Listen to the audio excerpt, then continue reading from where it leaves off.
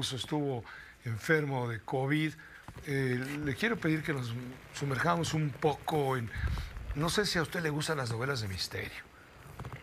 Agatha Christie, por ejemplo. No sé, dígame. eh, ¿Quién más te gusta de, de misterio? John Le Carré. Pues eh, Conan Doyle, que es eh, Doyle. el papá de, de Sherlock Holmes, ¿no? ¿Por qué no nos ponemos en el papel de un, de un plumífero de estos clásicos? Acabas de decir hace unos momentos del hijo de mi estimado hace mucho tiempo en la Comisión Nacional de los Derechos Humanos y repetir dicho hay una creo que fue alguien que juntó juntó afectos y juntó voluntades y pues no se diga el doctor a lo largo de su amplia carrera política Lo estamos y acompañando universitaria sin duda. Eh, Rafael, Sí. el misterio del mayo en julio. pues mira Pepe 40 y 50 años de ejercer el oficio del narcocrimen eh, y hacerlo sin que ninguna autoridad haya sido capaz de acercarse a él, salvó un caso muy particular, y no me refiero a una autoridad, sino nin- nadie pudo hacer público un encuentro con él, salvo alguien que fue un maestro para ti y también lo fue para mí. Pues Pepe, el asunto de, de Zambada, eh, creo yo que pertenece a esa, pues a ese catálogo de asuntos que no se van a resolver, por lo menos en un tiempo muy corto, porque a ninguno de los protagonistas, de los personajes de este drama, que podríamos empezar como se escribe una obra de teatro, poniendo al principio quiénes son los personajes y cuáles son sus características psicológicas. Entonces, el gobierno de los Estados Unidos nunca nos va a decir cómo preparó los hechos que hoy tanto llaman la atención. Yo creo que en alguna parte de la opinión pública de los Estados Unidos, pero fundamentalmente en México.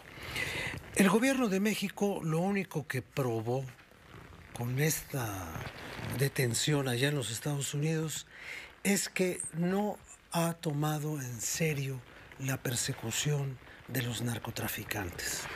Y cuando digo que no lo ha tomado en serio, no es porque no los haya capturado o no haya capturado a este que era el hombre que centralizaba muchas decisiones del cártel más importante en términos de, de- de manejo de volumen de drogas, de diversidad de drogas y obviamente el gran, yo diría casi monoexportador de fentanilo a los Estados Unidos, que es lo que obliga al gobierno de ese país a intervenir abiertamente en los asuntos mexicanos.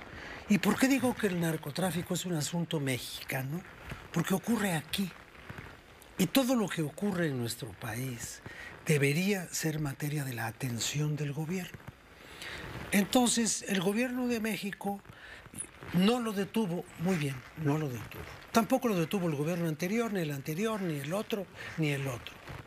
Pero no se dieron cuenta de lo que se estaba preparando en su territorio. Toda esta novela de la Los- traición Dicen los chavos que los gostearon. los gostearon. Bueno, la novela de la traición, vamos a conceder que es absolutamente cierta. Sí, uno de los chapitos, seguramente el más inteligente de todos, se granjeó la confianza de su padrino, porque además solo un cercano te traiciona. Tu enemigo no te traiciona. Tu enemigo actúa en consecuencia de su enemistad y te mata. Pero el cercano, desde Julio César, tú también, Bruto, todos los que están cerca de ti te pueden traicionar, los demás no. Los demás están bastante lejecitos para traicionarte. Podrán hacer alguna delación por ahí todo, pero nunca te van a tomar del brazo para meterte a una cámara oscura y para llamar a los otros y que te peguen de puñaladas. Como si fueras Julio César entrando al Senado romano. Bueno, entonces nunca nos dimos cuenta de cómo se reunían los agentes estadounidenses con el Chapito.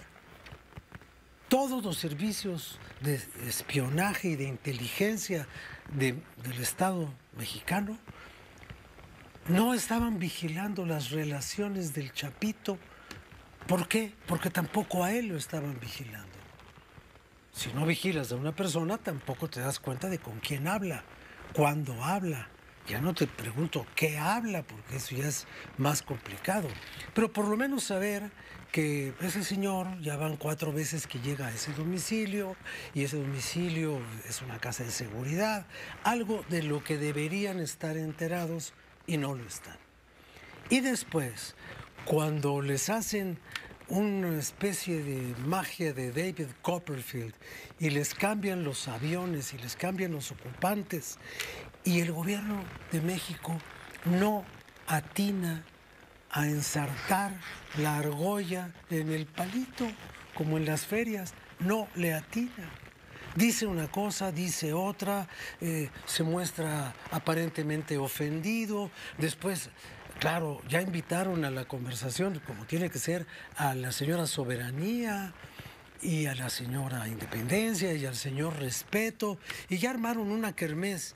Pero lo que es cierto es que en este país las agencias extranjeras, sobre todo las del gobierno de los Estados Unidos, hacen lo que quieren cuando quieren, como quieren, y el gobierno no tiene la capacidad o el interés o la conveniencia de detenerlos.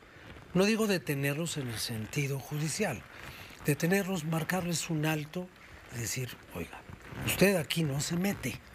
No, ¿quién dice? Yo digo, ¿y usted quién es? Entonces, lo mismo, ¿por qué sí podemos aceptar que venga un señor y nos diga, se frena la exportación de aguacates porque maltrataron a unos inspectores adscritos al Departamento de Agricultura de los Estados Unidos y mientras este asunto de su seguridad aquí en México no se arregle, usted no vende un aguacate ni en el Super Bowl. Y el presidente de la República dice en una mañanera, no, ya ese asunto ya se arregló, ya el embajador de Estados Unidos lo fue a arreglar. Tenemos para el catálogo de personajes de esta novela policíaca, tenemos al embajador aguacate, abocado ambassador. Entonces, ¿cómo, ¿cómo queremos, Pepe, que se nos tome en serio en el mundo? Si nosotros no tomamos en serio las relaciones de México con el mundo. Hoy dijo el presidente en la mañanera, si las tendencias confirman que ganó quien haya ganado, entonces lo vamos a reconocer. Pues México nunca ha reconocido a nadie.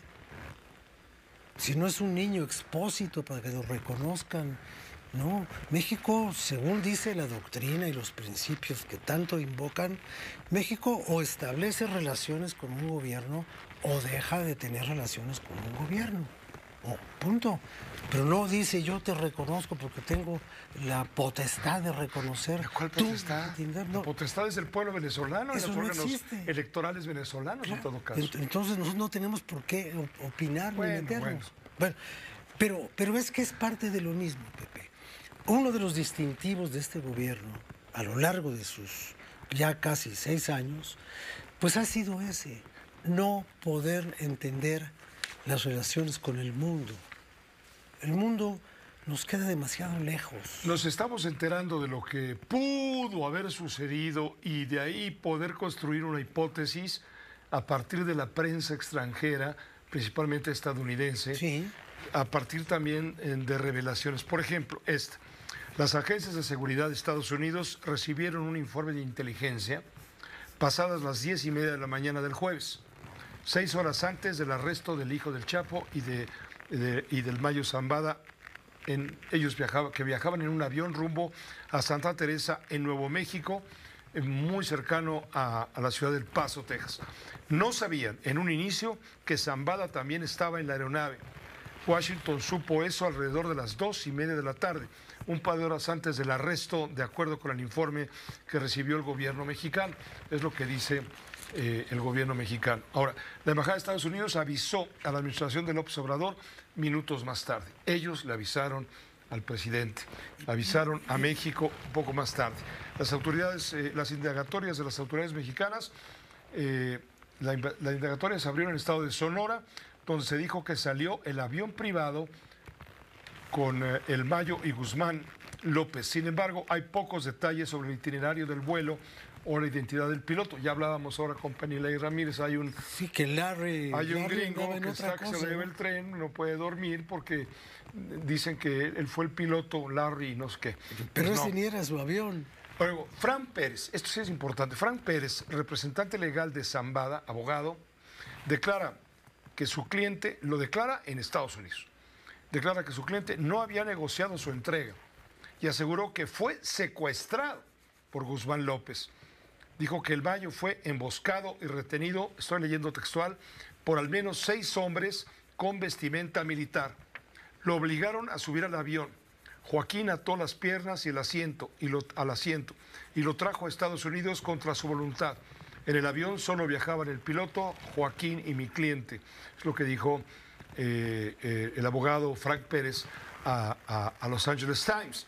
Eh, la Defensa Nacional ha desplegado en los últimos días 400 efectivos en Culiacán, que es el bastión de la organización criminal, según el semanario Río 12. En fin, Zambada en silla de ruedas compareció la semana pasada ante un tribunal de Texas al día siguiente, pues, el viernes, y ahí se declaró inocente y renunció a su derecho de estar presente en una vista judicial programada para el miércoles, para pasado mañana.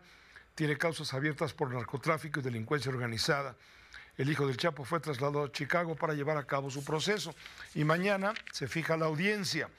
Mañana en la audiencia inicial el hijo del Chapo Guzmán eh, ya se entregó a las autoridades estadounidenses y de paso llevó consigo al Mayo Zambada. La, juez eh, Sharon Johnson agenda la audiencia para las once y media, doce y media tiempo de, de México.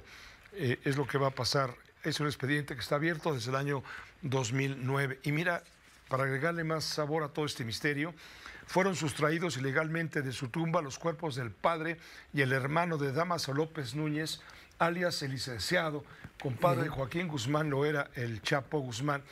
Eh, el licenciado fue arrestado en 2017 por nexos, claro, con el cártel de Sinaloa, y según medios locales, el mausoleo de aproximadamente 20 por 40 metros fue vandalizado. El lugar se encuentra en el Panteón de El Dorado, al poniente de Culiacán, Sinaloa. Son las piezas de este complejo. Pero pues es un asunto entre los vivos y los muertos, que también intervienen en esta trama tan complicada. Pues ahí están las piezas de rompecabezas. El que las quiera armar hará una gran novela que dejará pequeñas a todas las demás. Y el que quiera entender un poco lo que está pasando, pues tiene que mirar a los Estados Unidos. ¿Por qué? Porque aquí yo confieso no estar enterado de cómo ocurrieron las cosas, pero finalmente que yo me entere o no me entere no tiene ninguna importancia. Tiene importancia que se entere del gobierno de la República, que tampoco se entera. Muchas gracias, Rafael. Gracias, Pepe. Buenas noches. Gracias, buenas noches.